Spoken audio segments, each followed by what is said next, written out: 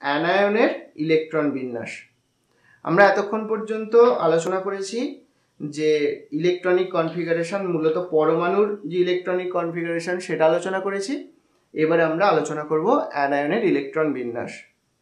Anion, আমরা যেগুলো জানি, তার মধ্যে যেগুলো একাধিক পরমাণু বিশিষ্ট অ্যানায়ন, অর্থাৎ যেমন আমরা আলোচনা করতে পারি যে এসো ফোর টু মাইনাস। তো এইরকম কিন্তু যেগুলো একাধিক পরমাণু বিশিষ্ট অ্যানায়ন তাদের তাদের ইলেকট্রন বিন্যাস কিন্তু এই ক্ষেত্রে আমরা করতে পারব না। সেটার জন্য অন্য একটা বিষয় আমরা কাজে লাগবে ইলেকট্রনিক কনফিগারেশন বা তার মধ্যে ইলেকট্রনগুলো কীভাবে আছে, যেগুলো অনেক হায়ার স্টাডিজের ব্যাপার, যেটা মলিকুলার অরবিটাল থিওরির অনেক উচ্চতর ফর্মে গিয়ে আমরা করতে পারব, সেটা আমরা এখানে বিচার করব না। আমরা এখানে বিচার করব এক পরমাণু বিশিষ্ট অ্যানায়নের যে ইলেকট্রনিক কনফিগারেশন তাহলে এক পরমাণু বিশিষ্ট অ্যানায়ন, উদাহরণ, যেমন অক্সাইড ও মাথায় মাইনাস টু অর্থাৎ দু একক নেগেটিভ আধান বিশিষ্ট অক্সিজেন পরমাণু। এখানে লক্ষ্য করো, এখানে কিন্তু পরমাণুর সংখ্যা কিন্তু একটাই আছে, একটাই অক্সিজেন পরমাণু, তাতে ইলেকট্রন আছে সরি তাতে এক্সট্রা ইলেকট্রন আছে, দুটো। এবার, এর ক্ষেত্রে কি বলা হয়েছে? না, এরকম আরেকটা উদাহরণ বলে দিতে পারি, যেমন আরেকটা উদাহরণ হচ্ছে bromide B R minus. Bromine, তাতে একটা এক্সট্রা ইলেকট্রন আছে, কার তুলনায় এক্সট্রা না, ব্রোমিনের যতগুলো প্রোটন আছে, তার তুলনায় একটা ইলেকট্রন এক্সেস আছে এক্সট্রা আছে। তাহলে, এক পরমাণু বিশিষ্ট যে কোনো অ্যানায়নের মোট ইলেকট্রন সংখ্যাটা আমরা প্রথম ক্যালকুলেশন করে নেব। দেখো, যেমন আমরা যদি ও টু মাইনাসের কথাই ধরি, আমরা জানি যে অক্সিজেন যে পরমাণু, তার পরমাণু ক্রমাঙ্ক হচ্ছে এইট বা আট। এবার এখানে দেখো বলা হয়েছে যে মোট ইলেকট্রন সংখ্যা ইকুয়ালস টু পরমাণু ক্রমাঙ্ক, তাহলে অক্সিজেনের জন্য পরমাণু ক্রমাঙ্কের ভ্যালুটা আমরা এইট পাচ্ছি প্লাস অ্যানায়নের চার্জ অ্যানায়নের চার্জ হচ্ছে টু মাইনাস সুতরাং প্লাস টু অর্থাৎ টোটাল ইলেকট্রন গিয়ে দাঁড়াচ্ছে টেন দশটা। এবারে কি করবে? তাহলে অ্যানায়নের যখন ইলেকট্রনিক কনফিগারেশন করবে, ও টু মাইনাস যদি অ্যানায়নটার উদাহরণ হিসাবে ধরে নাও, তাহলে সেক্ষেত্রে দশটা ইলেকট্রনের জন্য যা ইলেকট্রনিক কনফিগারেশন হবে, সেটাই হবে। তাহলে এখানে আমরা লিখব যে ও টু মাইনাসের electronic configuration one s two ওই ছকটা ধরে এগুলোই হবে two s two two p six খেয়াল করো, এখানেই কিন্তু আমরা পেয়ে যাচ্ছি দশটা ইলেকট্রন যেটা কভার করে ফেলেছি। আরও একটা ব্যাপার দেখো, দশটা ইলেকট্রন মানে এটা জাস্ট লাইক নিয়ন তার মানে অক্সাইড আয়নের যে ইলেকট্রনিক কনফিগারেশনটা সেটা নিয়নের সঙ্গে সমতুল্য, এটা আমরা বলতে পারি। তো এরকমভাবে আরও যে অন্যান্য অ্যানায়নগুলো আছে, যেমন CL minus N three minus ইত্যাদি আরও যে অন্যান্য এক পরমাণু বিশিষ্ট অ্যানায়নগুলো আছে, তাদের জন্য অনুরূপভাবে আমরা ইলেকট্রনিক কনফিগারেশন লিখে দিতে পারব। তাহলে এই গেল অ্যানায়নের জন্য আলোচনা। তাহলে অ্যানায়নের জন্য সংক্ষিপ্ত আলোচনাটা একবার ছোট্ট করে বলে দিই। যে এক পরমাণু বিশিষ্ট অ্যানায়নের ইলেকট্রনিক কনফিগারেশন করতে হবে প্রথমে তাতে টোটাল ইলেকট্রনটা কাউন্ট করে নেবে, তার পরমাণু ক্রমাঙ্ক প্লাস অ্যানায়নের চার্জ এইভাবে টোটাল যে সংখ্যাটা হলো, সেটাকেই ওই অ্যানায়নে উপস্থিত টোটাল ইলেকট্রন সংখ্যা হবে, সেটাকে ধরে আমরা ইলেকট্রনিক কনফিগারেশন যেটা হবে, সেটা লিখে দেব, তাহলেই আমাদের অ্যানায়নের যে ইলেকট্রনিক কনফিগারেশন সেটা লেখা হয়ে যাবে। এবারে আমরা যেটা আলোচনা করব, সেটা হচ্ছে ক্যাটায়নের ইলেকট্রন বিন্যাস। দেখো, আমরা প্রথমে দুটো ক্যাটায়নকে নিয়ে নেব। ক্যাটায়ন মানে আমরা জানি যে পজিটিভ আধান বিশিষ্ট বা পজিটিভলি চার্জড পরমাণু বা পরমাণু পুঞ্জ, তাদেরকে আমরা ক্যাটায়ন বলি। এক্ষেত্রেও কিন্তু ক্যাটায়নের ক্ষেত্রেও যে ইলেকট্রনিক কনফিগারেশন আমরা করব, সেটাও অবশ্যই এক পরমাণু বিশিষ্ট ক্যাটায়ন হবে। ঠিক অ্যানায়নের মতোই। এক্ষেত্রে আমরা ধরো যে ক্যাটায়ন দুটোর ইলেকট্রনিক কনফিগারেশন বিচার করব, সেটা সিএ টু প্লাস অর্থাৎ ক্যালসিয়াম যে ক্যাটায়ন দু একক পজিটিভ আধানগ্রস্ত, এবং তার সঙ্গে আর একটা বিষয় আলোচনা করব, সেটা হচ্ছে কপার প্লাস এই দুটো ক্যাটায়নের যে ইলেকট্রনিক কনফিগারেশন সেগুলো আলোচনা করব। দেখো, প্রথমে আমরা নিয়মটা ক্যাটায়নের ক্ষেত্রে যেটা আমরা ফলো করব, সেই নিয়মগুলো পরপর দেখব। এক পরমাণু বিশিষ্ট যে পরমাণুটি ক্যাটায়নে পরিণত হয়েছে বা ক্যাটায়ন ফর্ম করেছে, তার ইলেকট্রন বিন্যাস লিখতে হবে। অর্থাৎ পরমাণুটার ইলেকট্রন বিন্যাস কিন্তু আমরা প্রথমে লিখে স্টার্ট করব। প্রথমেই আমরা ক্যাটায়নের ইলেকট্রন বিন্যাস লিখতে যাব না। তাহলে আমরা দেখেছি যে ক্যালসিয়াম তার পরমাণু ক্রমাঙ্ক হয় টোয়েন্টি, সুতরাং টোয়েন্টি পরমাণু ক্রমাঙ্ক বিশিষ্ট যে ক্যালসিয়াম, তার ইলেকট্রনিক কনফিগারেশন হয়েছিল one s two two s two two p six, three s two, three p six, four s two. এই হয়েছিল ক্যালসিয়ামের যে পরমাণু ক্রমাঙ্ক। দেখো এই পর্যন্ত আমরা যদি দেখি এটা টেন, এই পর্যন্ত টোটাল দেখলে ten ten plus ten, twenty. এবারে আপ টু এইটিন এই পর্যন্ত আমরা দেখব যে এটা এইটিন সুতরাং এটা just like argon then four s two তাহলে প্রথম আমরা যে ইলেকট্রনিক কনফিগারেশনটা যেটা ক্যালসিয়াম পরমাণু, সেটা আমরা লিখে ফেলেছি। এবারে আমরা ক্যালসিয়ামটার জন্যই প্রসেসটাকে কমপ্লিট করি। সাধারণত সর্ববহিস্থ কক্ষ থেকে উপযুক্ত সংখ্যক ইলেকট্রন অপসারিত করে ক্যাটায়নের ইলেকট্রন বিন্যাস লেখা হয়। লক্ষ্য করো, এখানে ক্যালসিয়াম আছে টু প্লাস। টু প্লাসের অর্থ হলো দুটো ইলেকট্রনের কম আছে। তাহলে ক্যালসিয়ামের যে ইলেকট্রন বিন্যাস, তার সর্ববহিস্থ কক্ষ থেকে, অর্থাৎ এই ক্ষেত্রে ফোরেস এই মানে ফোর চার নম্বর উপকক্ষে, চার নম্বর কক্ষের ফোরেস উপকক্ষ থেকে আমাদেরকে ইলেকট্রনকে অপসারিত করতে হবে। যেহেতু এখানে টু প্লাস তাই আমাদেরকে দুটো ইলেকট্রনকে অপসারিত করতে হবে। অর্থাৎ যখন আমরা সি এ টু প্লাসের ইলেকট্রনিক কনফিগারেশন দেখব, সেটা হয়ে যাবে জাস্ট লাইক আর্গন কারণ তারপরে যে ফোরেস আছে, তাতে কোনো ইলেকট্রন আর থাকবে না। সেটা আমরা লিখতে পারি আর্গন ফোরেস জিরো আর কোনো ইলেকট্রন থাকল না। দুটো ইলেকট্রন অপসারিত করলে দু একক পজিটিভ আধানগ্রস্ত ক্যাটায়ন উৎপন্ন হবে। তাহলে ক্যাটায়ন এর ক্ষেত্রে প্রথমে পরমাণুর ইলেকট্রন বিন্যাস লিখে আমরা কিন্তু এগোবো। এইবার সমস্যাটা কিন্তু আমরা যদি কপারের জন্য বিষয়টা যদি একইভাবে আমরা প্রয়োগ করতে যাই, সেক্ষেত্রে কিন্তু একটু সমস্যা হবে। কপারের ক্ষেত্রে কি বিশেষ নিয়ম বা বিশেষ কোন রুলটা ফলো করব সেটা আমরা দেখব এবং পয়েন্টসগুলো দেখব। তার আগে আমরা প্রথম নিয়মটা কিন্তু কমন অর্থাৎ কপার যার টোটাল ইলেকট্রন কিন্তু টোয়েন্টি নাইন তো তার জন্য ইলেকট্রনিক কনফিগারেশনটা আমরা যদি লিখি, এবার কপার টু প্লাসের জন্য যখন একইভাবে আমরা ইলেকট্রনিক কনফিগারেশন লিখব কি সমস্যার কথা বলছিলাম সেটা আমরা এবারে বুঝব।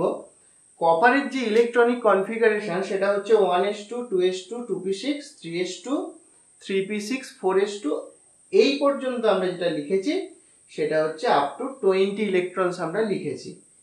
সো ফোর এসের পর আমরা যদি এইভাবে ফলো করি one s two two s two two p three s three p four s three d আমরা ফোর এসের পর তাহলে পাচ্ছি থ্রি ডি অরবাইটাল এইটা পাচ্ছি।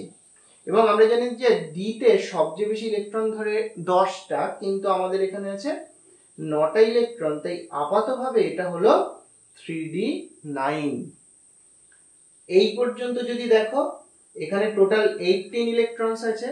So argon argon four s two three d nine একটা নিয়ম কিন্তু ভুলে গেলে চলবে না যে কপারের মানে এরকম যেখানে ডি অরবিটাল আছে, যেটা কপারের ক্ষেত্রে দেখতে পাচ্ছি, তার বাইরের যে আগের উপকক্ষের যে ডি উপকক্ষ, যেটাকে এন মাইনাস ওয়ান ডিও বলতে পারি, দেখো। এখানে সবচেয়ে বেশি মুখ্য কোয়ান্টাম সংখ্যাটা যেটা ব্যবহার হয়েছে ফোর তাকে যদি এন বলো, তাহলে থ্রি মানে এন মাইনাস ওয়ান তাহলে সাধারণভাবে আমরা এটাকে বলতে পারি এন মাইনাস ডি উপকক্ষে, কিন্তু নটা ইলেকট্রন থাকবে না। নয় হওয়ার উপক্রম হলে পরবর্তী যে কক্ষ, তার থেকে ইলেকট্রন কমে যাবে। গিয়ে এখানে এটা টেন হয়ে যাবে। অর্থাৎ এখানে অ্যাকচুয়াল ইলেকট্রনিক কনফিগারেশনটা যেটা কপারের দাঁড়াল, সেটা হচ্ছে argon four s one three d ten তাহলে কপারের যে ইলেকট্রন বিন্যাস, সেটা আমরা এখন পর্যন্ত লিখতে পেরেছি। এবারে আমরা চলে আসব কপার প্লাসের যে ইলেকট্রনিক কনফিগারেশন সেটা। দেখো, তার জন্য নিয়মটা এখানে খেয়াল করো। সন্ধিগত মৌলের ক্ষেত্রে প্রথমে সন্ধিগত মৌল কি করে বুঝবে?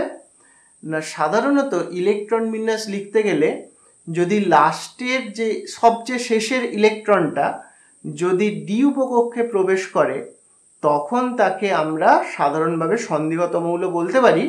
তবে সন্ধিগত মৌল বলার এটাই একমাত্র ক্রাইটেরিয়া নয়। আমরা এ নিয়ে পরবর্তী পর্যায়ে আরও আলোচনা করব। আপাতত এইটুকু খেয়াল রাখো যে লাস্ট ইলেকট্রনটা যদি ডিতে প্রবেশ করে তাহলে সাধারণভাবে সেটা সন্ধিগত মৌল। তবে এর কিন্তু কিছু ব্যতিক্রম আছে, সেগুলো আমরা বা আরও অন্যান্য ক্রাইটেরিয়াও আছে। পরে সেটা আমরা আলোচনার মধ্যে আনব পরবর্তী চ্যাপ্টারে আপাতত এইটা দেখো যে সন্ধিগত মৌলের ক্ষেত্রে প্রথমে এনএস উপকক্ষ থেকে ক্যাটায়নের চার্জের উপর নির্ভর করে ইলেকট্রন অপসারিত হয়। পরে প্রয়োজন হলে এন মাইনাস ওয়ান ডি যে উপকক্ষ তার থেকে ইলেকট্রন অপসারিত করা হয়। আমরা যদি লক্ষ্য করি, এক্ষেত্রে আমাদের এনএস মানে ফোরেস উপকক্ষ এন মাইনাস ওয়ান ডি মানে থ্রি ডি উপকক্ষ। আমরা এখানে ইলেকট্রনিক কনফিগারেশন করতে চলেছি কপার প্লাসের তাহলে যদিও ফোরেসে প্রথম ইলেকট্রন প্রবেশ করল থ্রি ডিতে পরে প্রবেশ করল, অর্থাৎ ফোরেসের শক্তি তুলনামূলকভাবে কম থ্রি ডি এর শক্তি বেশি। তাই এটা আগে ফিল আপ হয়ে আংশিক, সেটা বিশেষ কারণে আংশিকভাবে ফিল আপ হয়ে এটা সম্পূর্ণ হয়েছে। কিন্তু যখন এরকম ডি অরবিটালটা লাস্টে ফিল আপ হবে সেই রকম ক্ষেত্রে প্রথমে ফোরেস থেকে ইলেকট্রন মানে এনএস থেকে ইলেকট্রন অপসারিত হবে। পরে প্রয়োজন হলে এন মাইনাস ওয়ান ডি থেকে অপসারিত হবে। যেহেতু এখানে কপার প্লাস অর্থাৎ একটাই ইলেকট্রন অপসারণের প্রয়োজন হয়েছে তাই এখানে কপার প্লাসের ইলেকট্রনিক কনফিগারেশন হয়ে যাবে।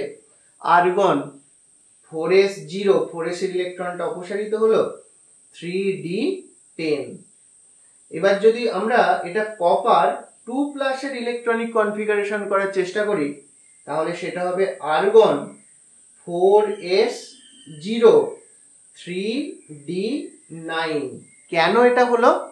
দেখো টু প্লাস মানে দুটো ইলেকট্রন অপসারিত করতে হবে। এনএস বা ফোর এস এই ক্ষেত্রে তাতে একটা ইলেকট্রন আছে, একটা অপসারিত হলো। তারপর আরও একটা ইলেকট্রন অপসারিত করার প্রয়োজন হবে। সেই জন্য এই থ্রি ডি থেকে আরেকটা ইলেকট্রন অপসারিত হয়ে গিয়ে থ্রি ডি নাইন হয়ে যাবে।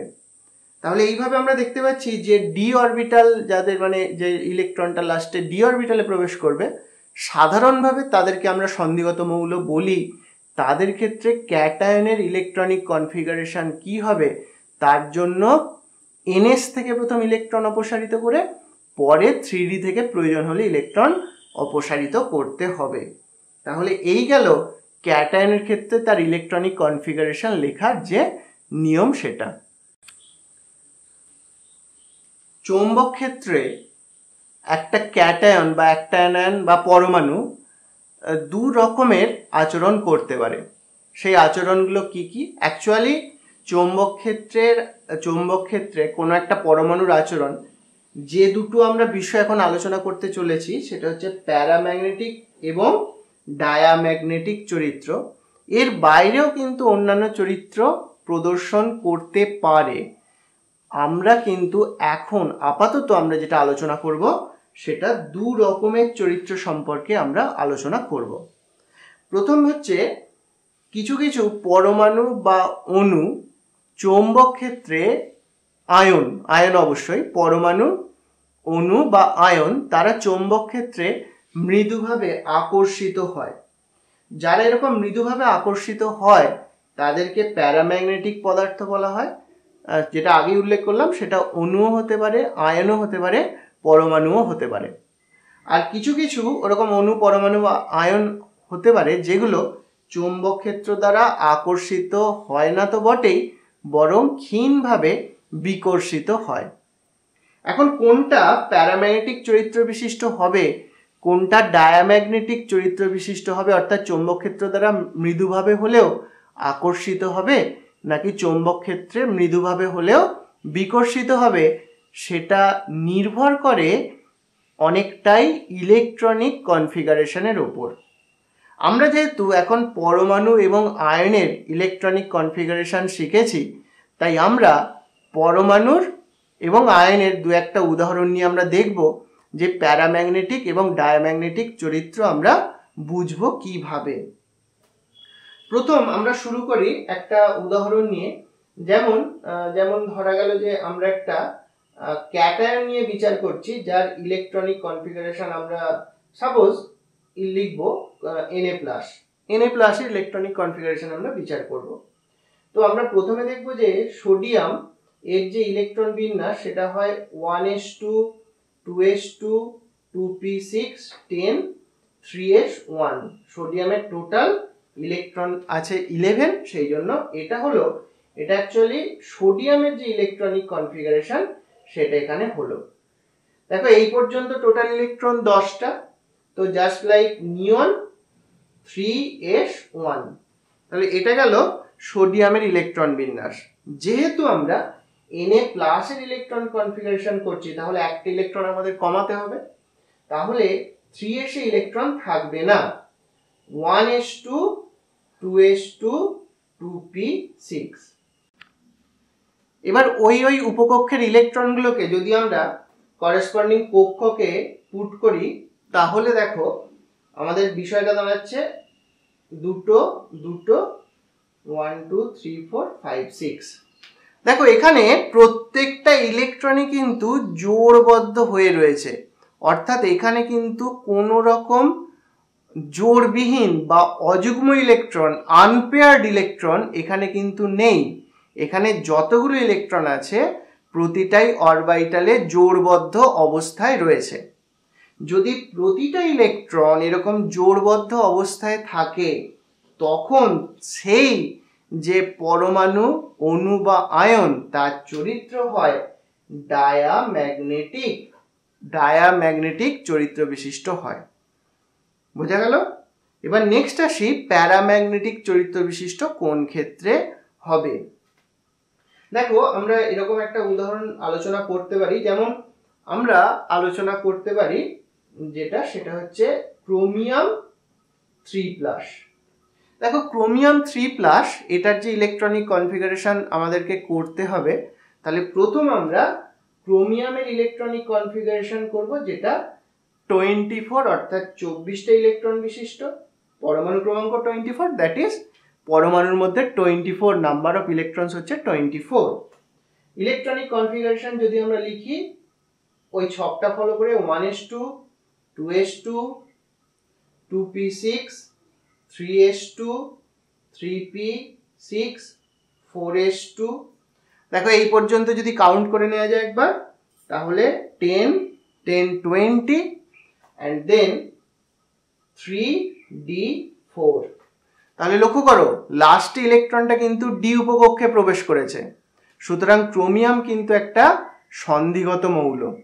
যেটা বলছিলাম যে লাস্ট ইলেকট্রন ডিতে প্রবেশ করলে সেটা একটা সন্ধিগত মৌল হয়।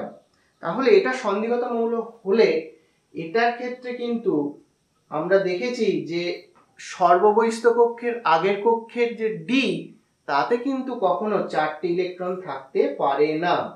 তাহলে আমরা যদি এই পর্যন্ত দেখি, এখানে ইলেকট্রনের সংখ্যা হচ্ছে eighteen so just like argon four s one হয়ে যাবে থ্রি ডি ফাইভ হয়ে যাবে।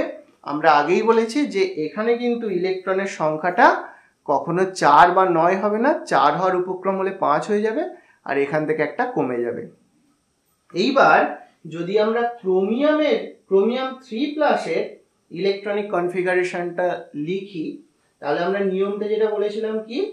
না আর্গন যেমন রইল তাহলে সবার প্রথম আমাদের ইলেকট্রন কিন্তু অপসারিত হবে এনএস থেকে, অর্থাৎ ফোর থেকে। যেহেতু থ্রি প্লাস তাহলে প্রথম ফোর এসের ইলেকট্রন যে একটা ইলেকট্রন আছে, সেটা ইনিশিয়ালি ফোর এস জিরো হয়ে গেল। এবং তারপর কিন্তু আরও দুটো ইলেকট্রনকে অপসারিত করতে হবে, তবেই ইলেকট্রনিক কনফিগারেশনটা থ্রি প্লাস এটা হবে। তাহলে এই যে থ্রি ডি ফাইভ আছে, তার থেকে আরও দুটো ইলেকট্রন কমে গেল, তার মানে থ্রি ডি থ্রি হয়ে গেল। এবার যদি আমরা আর ওয়ান পর্যন্ত যে কোনো একটার জন্য বক্স প্রোভাইড করি, দেখো এই পর্যন্ত যতগুলো আমাদের অরবাইটাল আছে, কক্ষক আছে, সব কক্ষকগুলোতেই কিন্তু ইলেকট্রন যুগ্ম হয়ে রয়েছে, দুটো করে করে, অর্থাৎ ফিল্ড হয়ে রয়েছে পুরোপুরি কমপ্লিট হয়ে রয়েছে। এবার আমরা যদি দেখি ফোর তার জন্য কিন্তু কোনো ইলেকট্রন নেই বক্সটা ফাঁকা থাকবে। থ্রি ডি ডি এর জন্য আমরা দেখব যে টোটাল আমরা বক্স প্রোভাইড করব দ্যাট ইজ অরবাইটালের সংখ্যা, সেটা পাঁচটা। কেন পাঁচটা হচ্ছে? একটু মনে করে দেখো ডি এর জন্য ডি এর জন্য এল ইকুয়ালস টু আমরা জানি টু সো তার জন্য যে ম্যাগনেটিক কোয়ান্টাম নাম্বার সেটা minus two minus one zero plus one plus two তাই কিন্তু আমরা ডি এর জন্য পাঁচটা কক্ষককে প্রোভাইড করছি। সেখানে আমরা যদি হুন্ডের মাল্টিপ্লিসিটি রুলকে প্রয়োগ করি, তাহলে সেখানে তিনটে ইলেকট্রন আছে। খেয়াল করো, এই ইলেকট্রনগুলো কিন্তু যুগ্ম ইলেকট্রন নয়, অযুগ্ম ইলেকট্রন তাহলে অযুগ্ম ইলেকট্রন থাকলে আমরা বলেছি যে সেই চরিত্রটা হবে, সেই চরিত্র হবে প্যারাম্যাগনেটিক চরিত্রের। অযুগ্ম যদি ইলেকট্রন থাকে, সেই চরিত্র হবে প্যারাম্যাগনেটিক চরিত্রের। অর্থাৎ সেটা চৌম্বক ক্ষেত্র দ্বারা মৃদুভাবে আকর্ষিত হবে। এবার এইরকম অযুগ্ম ইলেকট্রন যদি থাকে, সেই অযুগ্ম ইলেকট্রন থাকলে তার দরুন যে চৌম্বক ভ্রামক তৈরি হয়, অর্থাৎ চৌম্বক ক্ষেত্র দ্বারা কতটা তীব্রভাবে আকর্ষিত হবে, সেটা নির্ভর করবে তার চৌম্বক ভ্রামকের ওপর। চৌম্বক ভ্রামক কীভাবে নির্ণয় করব, তার সহজ সূত্র একটা আছে। যে সূত্রটা হচ্ছে root over x into x plus two unit হচ্ছে Bohr magneton BM Bohr magneton এই ইউনিটটা তার হবে।